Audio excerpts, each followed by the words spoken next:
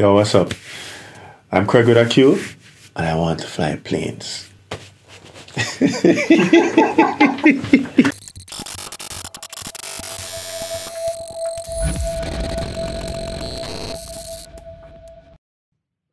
Two friends from an island in the Caribbean set out on a journey to find inspiring stories told by the persons who live them. So, with a camera bag and an open mind, you learn that the best part of life is not the destination, but The journey.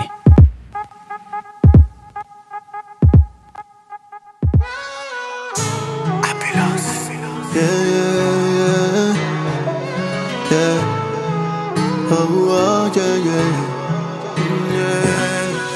Growing up, Baby, have you I think I had the felt like this? best set of system to ensure that I, you know, become the man that I am today. Yeah. So, you know, grew up at places like Waltham, McKinley Crescent, Olympic Way, run up on Nagawato sometime, Red Hills Road. Um, growing up with my grandmother was an experience. She's my hero, Lynette Smith.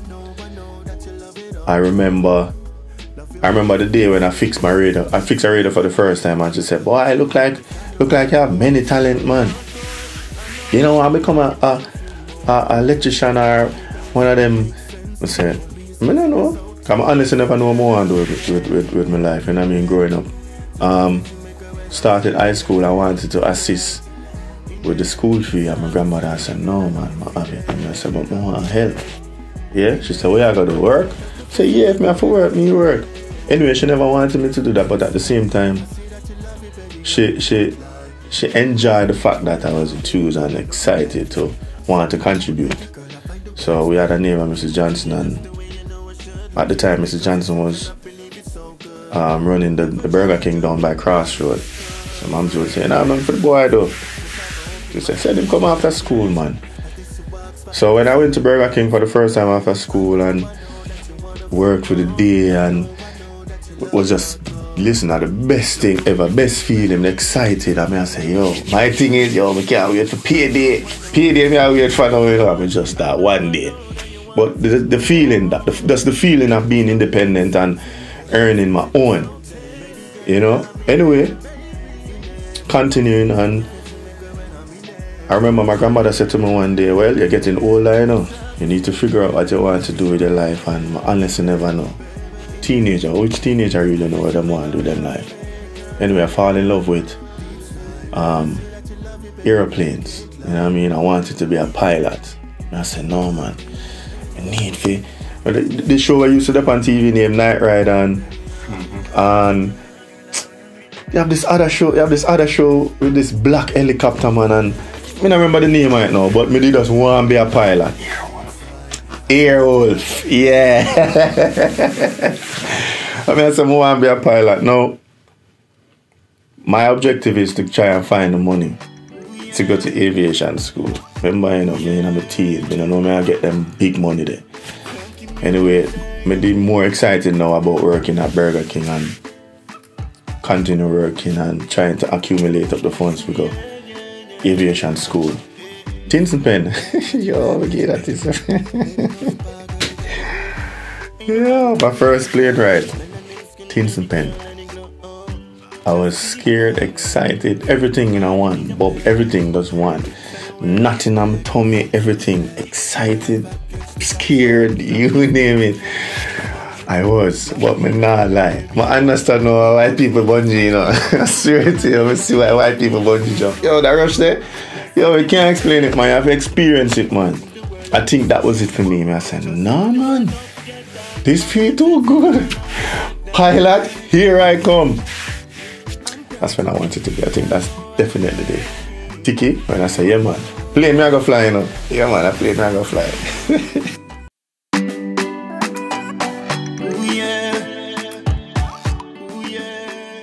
Here comes music. Music intervene. Always love music, but being a part of it in, the, in a creative way now was never no plan of mine. But anyway, take on the challenge, start the journey of music. There was a there was a little what you call it now concert in the community, and I they wanted me to, to participate. Not as a not as a singer or anything, you know, just to participate, dance or something. Then you know that I went on stage, supposed to be dancing, and the music just take over. Me just start sing. So everybody there, they clap while me I sing. I'm close my eye, me they sing. Barefoot as the day my band, just they sing. After leaving that concert, I don't remember aviation school no more. I had such a rush. I mean, I said, no man, if this feels so, how it I go feel if me do this outside of the country, cross the world? So in other words, I guess I can put say, I dump my first girl for my side chick, I don't know. but my side chick became my main chick, which is music. I said that to say I still I still love being a wanting to be a pilot. You know, someday, you know, someday I can take on back that journey. But thus far, the music journey with them.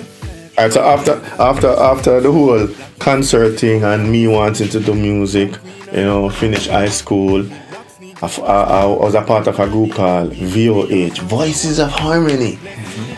Um, there was an there was a, a sister of mine. She told me about an inter uh, uh, audition and she said, Yo, I think you should really go in. I went to the audition. So this is the audition that create the whole voicemail energy. So I went to the audition with VOH and we, we, we, we sing and they asked me to sing if I could sing by myself. And I sing by myself. And I said, Wow, you have a lovely voice. We'll call you. Me never take it serious, you know, because you know, you know, them look something and I say, yeah, man, we call you 90% of the time, you know, get the call back. So I never take it serious. But me still excited about music. So me and VOH, I chat CME. The same night, I got a call, and who was on the phone was Kevin, Leon, and Robert. And them tell me, say, yo, you, you, from the audition, where them pick we from the audition and they want to form a group. I'm gonna say, yeah. Gonna say, yeah, can we meet up tomorrow? I say, yeah, man, sure. So at the time, Kevin also was the link up spot. Only not a part of the group yet. So we did a rehearse every day. Kevin was the chef at the time. Mackerel and rice was the vice meal meal. So every time I come rehearse, I mackerel and rice. Mackerel and rice. One of the time I say, yo, you know me, I got done, I got done with mackerel. So anyway, we did done.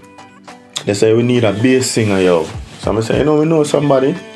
That's how I introduced O'Neal to the whole idea. And at first, O'Neal, I said, yo, my business, my thing there, you know, the, the music thing. So I'm saying, I'm hearing the sound. I'm hearing the sound. Five minutes later, O'Neal was at the rehearsal. That was Vice Man. I remember I used to playing basketball, me and Cricket Jed and other friends.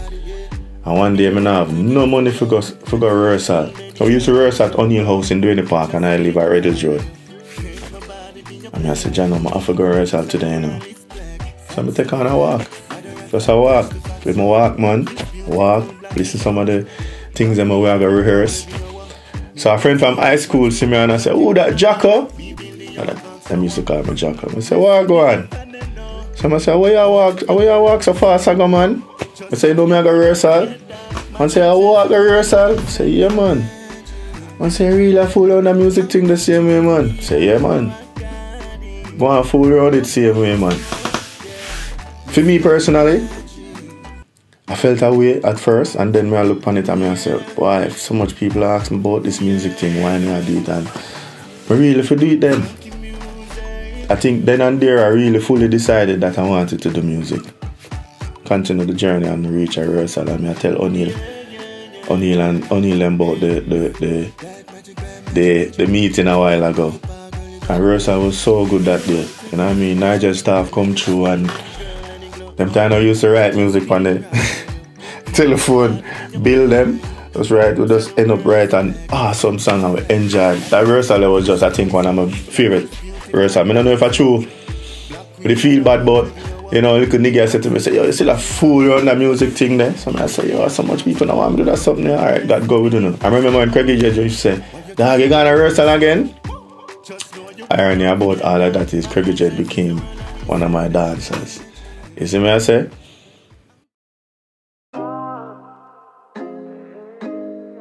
You made me feel like Frankie Music. you made me feel. A year after that, we went in for our, v- our work permit, our first work permit.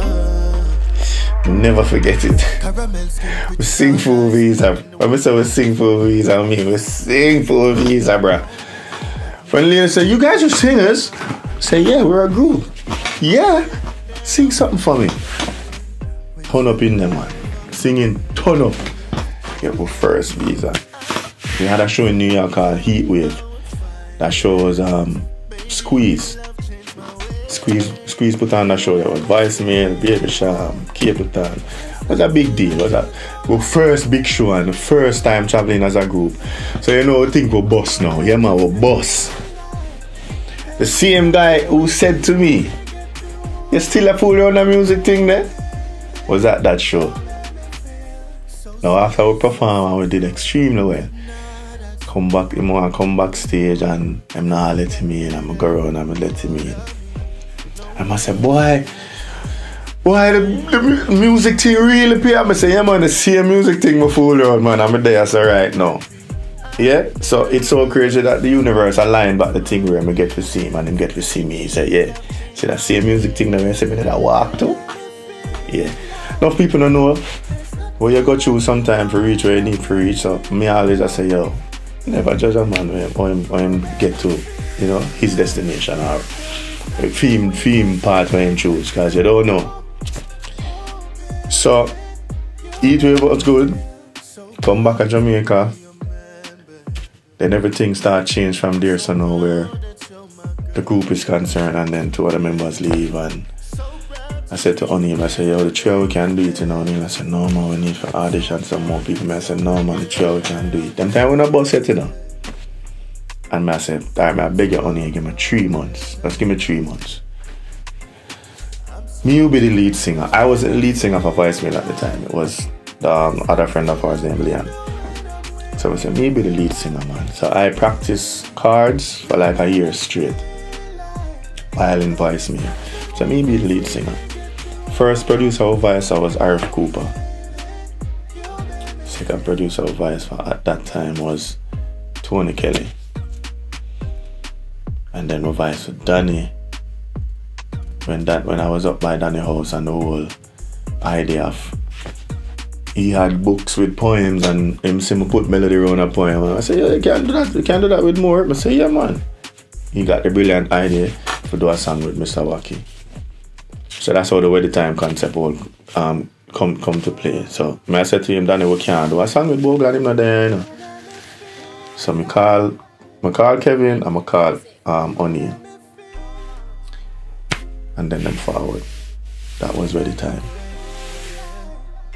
Nobody never believed in the song. I personally had fun doing ready time and I honestly never take it serious. Take it serious meaning like, yeah man, this I got boss with. But just I say, yeah man, in the next bad song. Long and behold, where the time was our first hit song. And then voicemail boss. Money time! Nope. Final next hit song, ready to party. Still no money. Final next hit song, just dance. Still no money. Final next hit song. Whack it. Bring on the money. so everything changed from this. My journey in music just take another tour right here. So now, start travel the world. Places where we only dream of. Never think would I go. Still love being a pilot. I used to have this tradition where every time I go in the plane, I always ask the um show this them for some I can't go I can't just big up the pilot. I just want to big him up. Them used to let me go there and you know you're Jamaica them time you have your little friends and I say, yo, I'm gonna ill. You know what I mean? That's how much I really love the whole being a pilot. So long and short of it is I still love it. I don't think gonna ever not love it. I just love music more.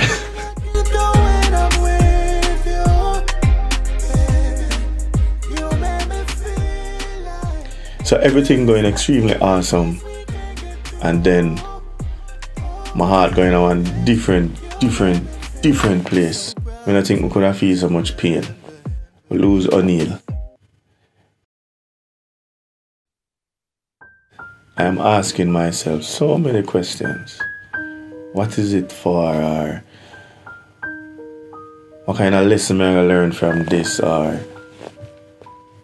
is this a part of the whole process of being into the music? What heap of question I asked myself. It was such a low point for me personally. And then I guess you would wonder if I would think back about the whole aviation thing and then I'd be like, but I'm fully in now. You know? And being the positive um, person that I am, for me to feel a little bit better, I tell myself that, you know what? Everything I'm gonna work out exactly how it's supposed to work out. But not because it's going to work out how it's supposed to work out mean that I'm not going to contribute to it working out exactly how I want it to work out. So I continue. You know, go through the pain, go through the go through the pu- push through everything, you know. Tell yourself that you know that only you don't want to, want to stop the music because you know what I mean? So knowing became a part of the whole motivation to show not just ourselves but our our country that we're great, we're just great. You know what I mean?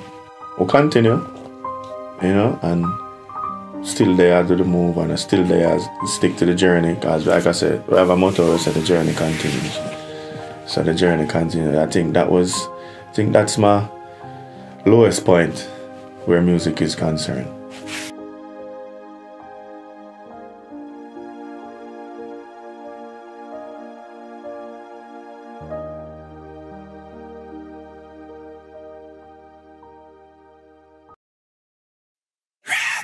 I can tell you this though, there's so much high points so far in music. I remember the first time Voicemail traveled to Japan. I, I experienced Anzan what it feel like to be a king. Yeah man, like whatever you want, right at your fingertip. All you have to do is just say it. Ask for. Japan. We got introduced to a company called Pony Canyon. They do they distribute movies and they wanted to go into music. Guess who they wanted to use? So alright, we could try with Voicemail. The owner of the company was a very huge Voicemail fan. And what was awesome for us, Voicemail was his first dancehall dancehall him ever listened to and him just fall in love. So we had a different experience where the, highest quality of treatment, you know what I mean? The, the best of everything, the biggest festivals, um, the, the, the most the most interviews I've ever done is in Japan. I've done 282 interviews, and that's between magazine, um, clothing line, because them interview before pictures and all of that, and then media and all that, all of those little stuff. So, and we had some of the biggest festivals that we have performed to, to date in our career in Japan. When, our, when we got our first um, album release, yo, I think that's higher than high. And I think no grades could have get me so high. It was, it was such an awesome, awesome high point in um, my music career. And like I said, there's so many. You know, that's just one of many. I get a bigger rush from music though, I can't tell you that much. Um, one of my most we did a show in in Japan, um, Yokohama Fest. Um, Mighty Crown put Mighty Crown, the Mighty Crown team put it on, and that was uh, forty-seven thousand people. At, at that time, that was our first huge um, audience, and I remember looking out there. Everything where the body can do where Rush is concerned, my body do it. I say everything you can think, listen. It's when we run out when them call voicemail or it's on YouTube. Can you YouTube it? It's when we run out. When I think would I get that with a pilot, I swear, as much as I did had that awesome rush that introduced me to the whole being a pilot, yeah, but you see that rush there. And that's just one of many rush. Just to be a part, just to know that you can perform, rush. Be on stage and the audience react, rush. When you get an audience with just a listen, rush. There's so many. different rush. So I think music is my greatest drugs. I swear. Give me more. I'm addicted. Frankie Music. Yeah. Yeah, yeah, yeah. One of the struggle I had with mu- the, the music and aviation is if the music ain't work, did I give up something that I really love, even though I love music, and it don't work?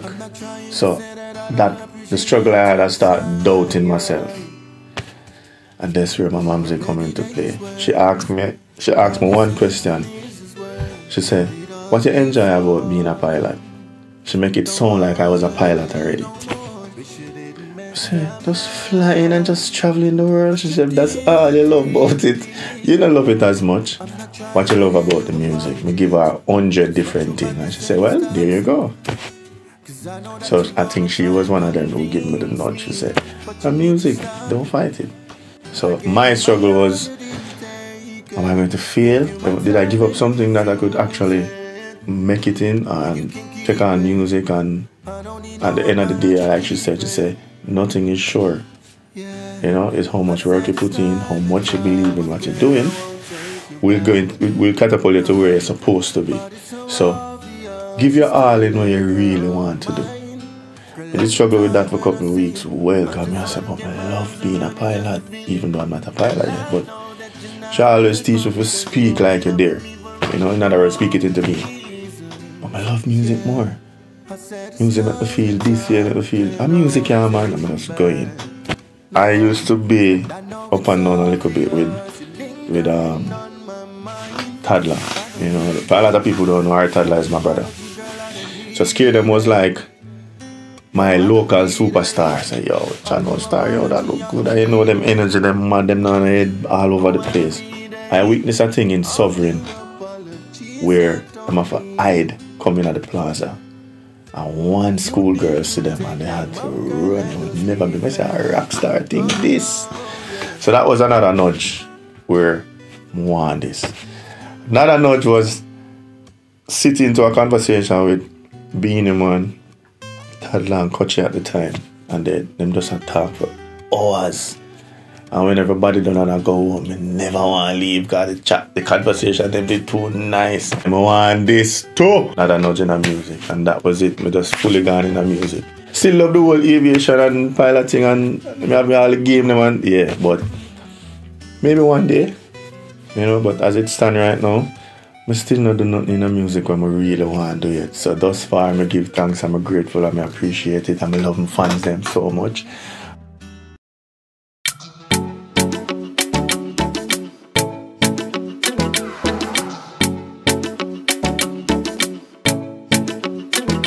Everybody would know me always hear me talk about my momsy, because if you don't know, she's my hero. And all of her teaching and everything what she instilled in me still there. That's why I'm such an awesome chef. That's why I'm so awesome at anything that I do. You know what I mean? Um, it's very important not just to have a career, but to be to be to be true to the career that you that you choose. You know what I mean? Because it's not everybody can have a skill. You know what I mean? And your career can be a skill if you ask me. I make music everything for me. You know what I mean? It's not just it's not just talent. It's it's just me. You know? The more important the more the most important thing you can do for yourself is knowing you. Be true to yourself. Believe in yourself because I always have people I that have them own views and opinion. You know? My mom's always said to me, everybody have an opinion. Yeah? Execute what you want to do first, then you can share. Yeah, because opinion change ideas. So my journey of music started from me wanting to be a pilot to music. Say, eh, eh, a music, you know, take on music. I meet some incredible people throughout my journey thus far. I wouldn't change it for the world. So may I say rest in peace, O'Neill. That was not was not just my music partner, my brother, or my best friend. It was just a part of my life. You know what I mean? And him contribute a lot. O'Neill was the first person who explained to me, say, yo, you're singing a falsetto, you're not singing a your real voice. I said, what name, sir? But the good thing about all of that is singing in my falsetto then make my falsetto even better now. Yeah. So there's so many journey, and this is just like a fraction of all the journey that there is. Yeah. So may I say this to Uno, whatever journey you choose, don't choose it for nobody but yourself. Yeah? Because at the end of the day when you are alone lock up, I hear your thoughts. Not you, this man, that man, that girl, that girl, you and your thoughts. Yeah? Um I remember I remember my my, my mom's is saying saying that people will always have um, people around them who will motivate them, but can you motivate yourself? I think one of my biggest joy is knowing that I am self-motivated. I I believe in me. I'm a bet upon me all the time. Yeah? So I think what I personally would want anybody to take from me, whether it's my music or me doing an interview or whatever, just trust yourself. Yeah? We we we doubt ourselves so many times. A lot of us have the most amazing ideas, you know. But we doubt ourselves because somebody opinion. Trust yourself, man. Drake said something in an interview that if, if, there's eight people, so once those eight people good, nothing else matter. And it's the same. If if you have a system that you trust and it work, what why you need to trust anything else? Yeah, that not that not gonna stop you from being creative or trying new things because you get introduce new things and you trust these people that you're going to introduce the new thing to, and they won't call you down or demotivate you. They'll find the best way for it to work. So I think I personally would just say bank on bank on yourself. You know what I mean? Don't but that's naturally me though. so.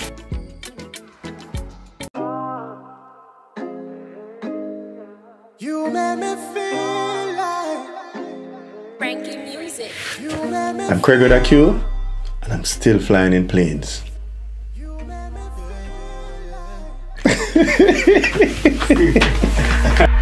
Caramel skin, pretty brown eyes. Loving the way your jeans hold them Can't get enough of you, no lie. You have me meds and I can't deny.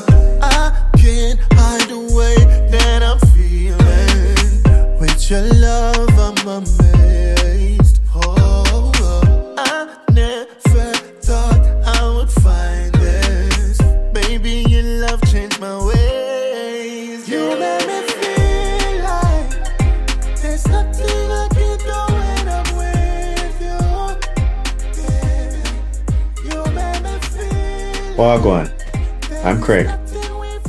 fly planes.